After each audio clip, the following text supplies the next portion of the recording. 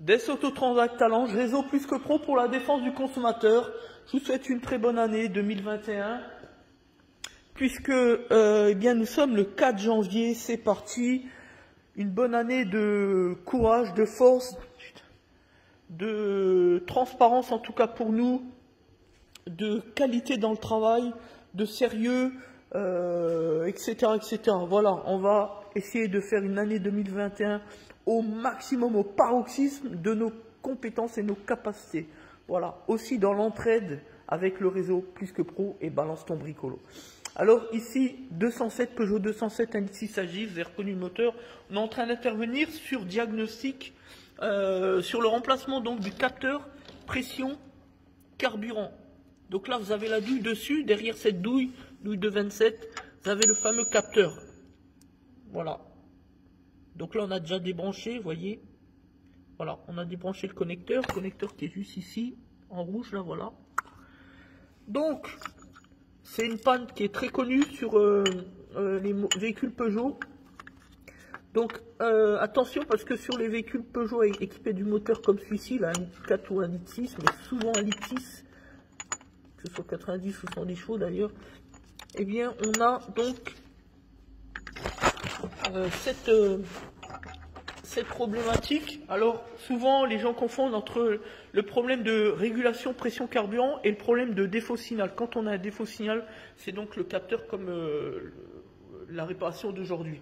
Souvent, on a aussi, donc, dans l'autre aspect des choses, le problème de régulation pression carburant. Donc là, du coup, il s'agit d'intervenir sur la pompe HP, le remplacement de la pompe, puisque le régulateur ne se détaille pas, c'est comme ça, voilà. Alors, évidemment, les petits malins, ils vont dire Ah ben sur Internet, on trouve de tout. Euh, si t'es malin, on se croirait à la forfouille. Enfin, peu importe.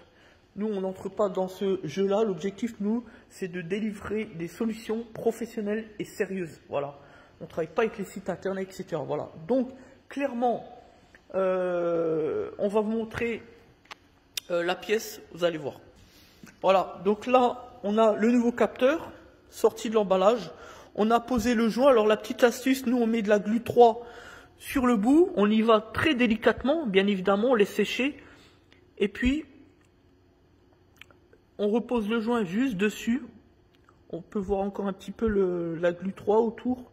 On fait très attention de ne pas mettre de glu 3 évidemment à l'intérieur, hein, puisque c'est un capteur euh, euh, qui peut euh, faire comme symptôme ne plus démarrer le moteur.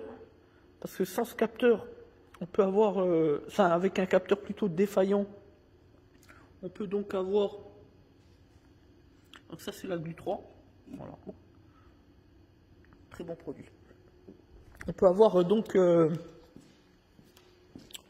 on peut avoir des symptômes de moteur qui cale, des pétarades, des saccades à l'accélération, lors de l'accélération forte, voilà, donc c'est souvent autour des 2005 à 4000 tours minute hein, dans, le régime de force hein, finalement qu'on a souvent les symptômes.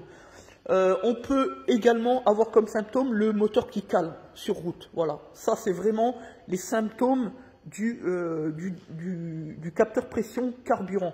À ne pas mélanger avec la vangère dont les symptômes sont plutôt introduits à un régime plus, euh, plus bas, entre 1005, 1006 et 2200 tours. Voilà. Et surtout, la vangère euh, sur le moteur là ne fait pas caler. Voilà.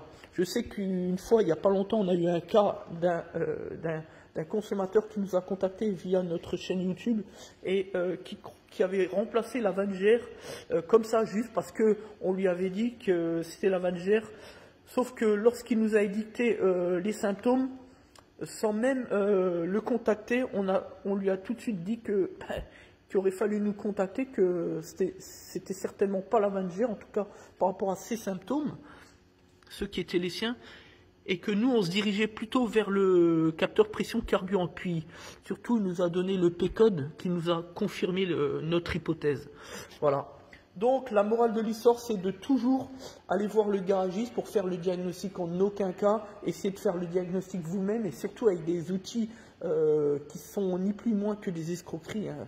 Je parle, j'évoque souvent le cas euh, de ces petits boîtiers de diagnostic à 20 ou 30 euros ou même 50 euros euh, faut bien se poser les bonnes questions. On en a d'ailleurs fait une vidéo là-dessus. Tout ça, c'est de l'escroquerie, c'est de l'arnaque. Les défauts que vous pouvez euh, récupérer via votre application téléphone ne sont pas la réalité de la panne, mais des défauts qui sont décodés, j'ai envie de dire, hein, entre guillemets, à cause du signal qui est corrompu. Il faut bien le comprendre. Et on en a fait la démonstration des dizaines et des dizaines de fois avec à l'endroit de clients, d'accord? Donc il faut bien comprendre cela. Et de toute manière, quel est l'intérêt d'acheter un outil? Si c'est pour prendre le risque de flinguer toute sa ligne de démarrage et payer plus de 4 000, 5 000 euros de réparation sur le calculateur, le BSI, l'antenne transfondeur et tout le cirque Si, au bout du compte, c'est pour tout de même se rendre chez le garagiste. Quel est l'intérêt? Voilà, il n'y en a pas, bien évidemment, vous l'avez compris. Donc, on oublie ces boîtiers de diagnostic. Je sais qu'il est difficile de faire confiance à un garagiste, je le sais mais pour autant, ne euh, cédons pas à la panique, ne faisons pas n'importe quoi. Il y a un moment donné, il faut savoir faire confiance. Voilà. Donc évidemment, euh, tous n'est pas euh, entreprise membre du réseau plus que pro, évidemment, mais enfin, il faut quand même faire confiance, sinon on n'avance pas. Voilà, donc maintenant je vous ai énuméré les symptômes, la pièce, le capteur c'est ça, voilà, c'est une pièce qui vaut une centaine d'euros. La réparation, elle coûte un petit peu moins de 200 euros. Il y a quand même euh, deux heures et demie de main d'œuvre. Déposer tout ce qui est bac à batterie, la batterie, voilà le, boîtier de préchauffage, le calculateur d'injection. On on y va délicatement, on fait attention. La masse sur la sur la boîte de vitesse ici. Voilà, une douille de 27 euh, petite rallonge, cliquez, on dessert et on fait très attention à bien récupérer le tout petit joint, le petit joint dont euh, je vous ai indiqué tout à l'heure, petit joint qui est là. Voilà, nous on l'a collé à glu 3, donc voilà, comme ça il n'y aura pas de risque, on va y aller tout doucement, tac, à la fin bien serré. Ensuite, on contrôle les défauts, là-dessus il n'y a pas besoin de télécodage, rien du tout, donc simplement effacer le défaut après le, remplacement de la pièce, contrôler les mesures paramètres, les valeurs pour être sûr que tout se passe bien, etc. Et surtout, surtout, surtout laisser sur route. Voilà, laisser sur route. Combien de fois nous avons vu des clients qui se plaignaient euh, des suites d'une intervention garage et que l'essai n'avait pas été réalisé, puis que le client récupère son véhicule, et qu'est-ce qui se passe? Le client appelle récupérer le véhicule qui tombe en panne. Voilà. Toujours réaliser l'essai sur route pour confirmer l'intervention, la réparation. Voilà, merci à tous. C'était Des Autotransact, membre du réseau Plus que Pro, les meilleures entreprises de France en satisfaction. Merci, à bientôt.